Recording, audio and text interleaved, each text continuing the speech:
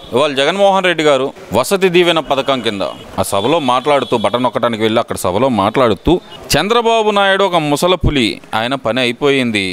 ఆయన దల్లా దగ్గరికి వచ్చిన ఆహారాన్ని అందుకోవటం మాత్రమే అన్నట్టు ఒక ముసలి పులి కథ అని చెప్పి ఒక చిన్న కథ అయితే చెప్పారు. అసలు దీన్ని ఏ విధంగా చూడొచ్చు అంటారు? వెళ్ళింది విద్యార్థులకి వసతి దీవెన కార్యక్రమానికి. దాంట్లో రాజకీయాలు మాట్లాడటం అనేది ఎంతవరకు కరెక్ట్ అంటారు? ఈరోజు చూస్తే జగన్మోహన్ రెడ్డి నిన్న మాట్లాడుతూ వసతి దీవెన కార్యక్రమంలో చంద్రబాబు నాయుడు పైన అనేక విమర్శలు చేశాడు. జగన్మోహన్ రెడ్డికి మేము తెలియజేసేది ఏంటంటే ఈరోజు యువతని గంజాయి మత్తులో ముంచేసేసి యువతని జీవితాలను నాగం చేసి ఈరోజు యువత జాబ్ క్యాలెండర్లు రిలీజ్ చేయకుండా యువతని ఈ రోజున అనేక హామీలు ఇచ్చి అనేక హామీలు నెరవేర్చకుండా ఈరోజు యువతల్ని గంజాయి మత్తుకు ముంచేసేసి ఈ జగన్ గవర్నమెంట్ జగన్మోహన్ రెడ్డి యువతకు అనేక అన్యాయాలు చేస్తుంది. అలానే నిన్న చంద్రబాబు నాయుడిని ముసలి అని మాట్లాడటం ఇది మాకు చాలా జీర్ణించుకోలేని విషయం. చంద్రబాబు నాయుడు ముసలి కాదు. చంద్రబాబు నాయుడు ఈరోజు డెబ్బై మూడేళ్ళ యువకుడులా పనిచేస్తున్నాడు. చంద్రబాబు నాయుడిని విమర్శించడం జగన్మోహన్ రెడ్డికి తగదు. ఈరోజు అలాగే చంద్రబాబు నాయుడు ఇదేమి కర్మ కార్యక్రమం చేస్తుంటే తరలి వస్తున్న జనాలను చూసి చంద్రబాబు నాయుడు ఇంకా ఇంకా ఇంకా యువతగా ప్రోత్సాహంగా ఇంకా చంద్రబాబు నాయుడు ప్ర ఇంకా స్పీచ్లు బాగుంటున్నాయి. జ జగన్మోహన్ రెడ్డి అది కరెక్ట్ కాదు. నీకు ప్రజలు తొందరలోనే పాడేగట్టి గద్దె దించి ఈ రాష్ట్రం నుంచి తరిమి కొట్టడానికి సిద్ధంగా ఉన్నారు. ఇదేమి కర్మ రాష్ట్రానికి అంటం కాదు చంద్రబాబు నాయుడు ఇదేమి కర్మ నాకు ఇలా తిరగటానికి. లోకేష్ లాంటి కుమారుణ్ణిచ్చి ఇచ్చి మాట్లాడటం చేతగాని వ్యక్తిని ఇచ్చి రాష్ట్రం మీద కొదిలి ఆయన తిరుగుతున్నాడు దత్తపుత్రుని వెంటేసుకొని అని చెప్పి జగన్మోహన్ రెడ్డి గారు కానీ వాళ్ళ నాయకులు కానీ చేస్తున్న వ్యాఖ్యల్లో వాస్తవాలు ఎంత ఉండే అనుకోవచ్చు అంటారు?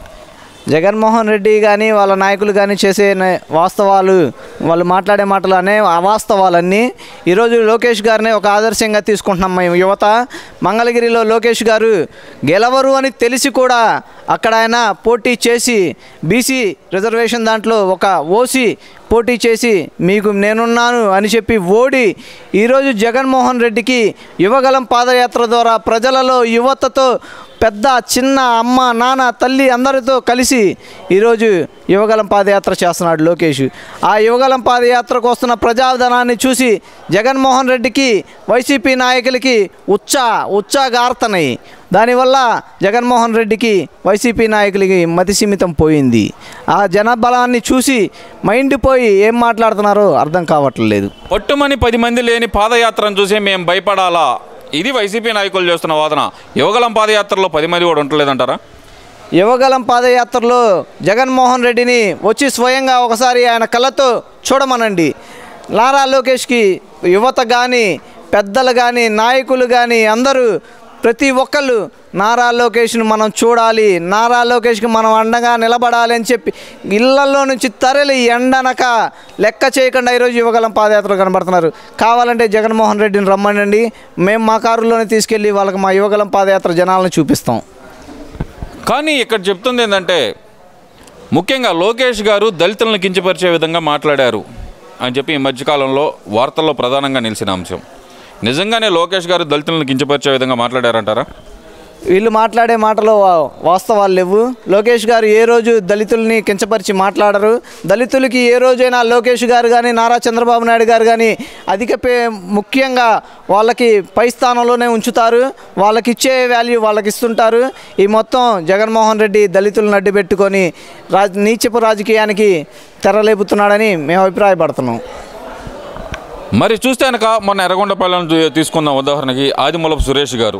డైరెక్ట్గా రాళ్ళదాడే చేయించారు ఆయనే చొక్కా విప్పి దమ్ముంటే నన్ను ఏమైనా చంపుతారా? రండి అన్నట్టు మాట్లాడారు. అసలు వీటిని ఏ విధంగా చూడాలంటారు? ఈ రోజున చూస్తే ఆదిమూల సురేష్ గారిని ఒక దళితుడిని చొక్కా ఇప్పించి మరీ దారుణంగా దళితులను అనుమా అవమానించేటట్టు జగన్మోహన్ రెడ్డి చేశాడు. అది చాలా దళితులకి బాధాకరమైన విషయం. దళితులతో చొక్కా ఇప్పించి నడి రోడ్డు మీద నింపించడం అనేది జగన్మోహన్ రెడ్డికి ఎక్కడా తగదు అలాంటివి ప్రజలు ఎప్పుడూ అలాంటివి జీర్ణించుకోలేరు. అలానే రాళ్ళ దాడిలో చూస్తే వాళ్ళు రాళ్ళు ఒకటేస్తే రేపొద్దున మేము పదేస్తాం. ఖచ్చితంగా చెప్తున్నాం జగన్మోహన్ రెడ్డి ఇదే ప్రభుత్వం దిన్ను నీ ప్రభుత్వాన్ని ఇదే రాష్ట్రం నుంచి అదే రాళ్ళ దాడితో తరిమి కొట్టే రోజు ముందనే ఉంది. ప్రజలందరూ దానికి సిద్ధంగా ఉన్నారు. నువ్వు జాగ్రత్త నీ మంత్రులు జాగ్రత్త ఎక్కడికి వెళ్ళినా మిమ్మల్ని వదిలిపెట్టం అని చెప్పి చెబుతున్నాము. గత పదిహేను రోజులుగా రాష్ట్రంలో నడ- నడుస్తుంది ఒకటే. మా నమ్మకం నువ్వే జగన్. మా భరోసా నువ్వే జగన్. నేను నిన్నే నమ్మాం. జగన్ అని చెప్పి స్టిక్కర్లు వేస్తున్నారు. నిజంగానే ప్రజలందరూ జగన్మోహన్ రెడ్డి గారు వెనకమాలే ఉన్నారంటారా ఈ స్టిక్కర్లు వేసే కార్యక్రమంలో. ఈ స్టిక్కర్ల కార్యక్రమం అనేది బాగా కామెడీగా ఉంది. పొద్దునే లెగిసి ఇళ్ళ గతికిచ్చిన స్టిక్కర్లు చూసి వీడి మొహం మేము ఎప్పుడు చూడాలి వీడి దరిద్రం మాకేంటి అని ప్రజలు నవ్వుకునే స్థితిలో ఉంది స్టిక్కర్ల కార్యక్రమం. అదే వాళ్ళు తగిలించుకునే బ్యాగులు చూస్తే చెవుల్లో గుబ్బులు తీసుకునే వాళ్ళలా ఉన్నారు. అసలు ఈ స్టిక్కర్ల కార్యక్రమం అనేది జగన్మోహన్ రెడ్డికి చాలా బ్యాడ్ నేము. జగన్మోహన్ రెడ్డిని డైలీ తిట్టుకునే పరిస్థితి ఈరోజు స్టిక్కర్లు చూసి డైలీ ప్రజలు తిట్టుకునే పరిస్థితి రాష్ట్రంలో ఉంది. స్టిక్కర్ల కార్యక్రమం అనేది జగన్మోహన్ రెడ్డికి బాగా ఇబ్బందికరంగా ఉంది. జ వాళ్ళు ఎప్పుడు స్టిక్కర్ల కార్యక్రమం అనేది ఎక్కడా సక్సెస్ అవ్వలేదు ప్రతి ప్రజడు ప్రతి రైతు ప్రతి ఒక్కరు వాళ్ళని ఎక్కడికి వెళ్ళినా కానీ ప్రశ్నిస్తున్నారు. దాని సమాధానం చెప్పలేక తోక ముడుచుకొని పారిపోతున్నారు. కానీ రోజా గారు కానీ అంబటి రాంబాబు గారు కానీ మాట్లాడుతూ ఒకటే మాట అంటున్నారు. మాకు గడపలో కాదు మా దేవుడు గూట్లో అతికిచ్చండి అన్నప్పుడు మాకు కళ్ళమ్మట ఆనంద బాష్పాలు వస్తున్నాయి.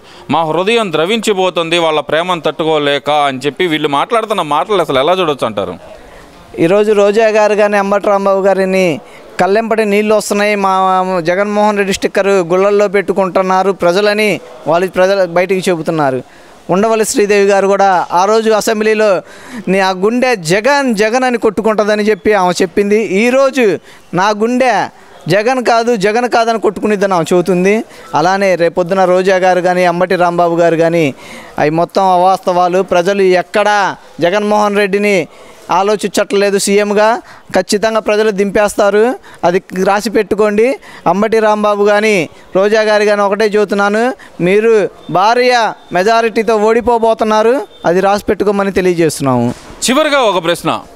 నాలుగున్నర సంవత్సరాలుగా రాష్ట్రంలో నడుస్తుంది. దాదాపు నాలుగున్నర కాదు ఐదు సంవత్సరాలుగా రాష్ట్రంలో నడుస్తుంది వివేకానంద రెడ్డి గారి హత్య కేసు.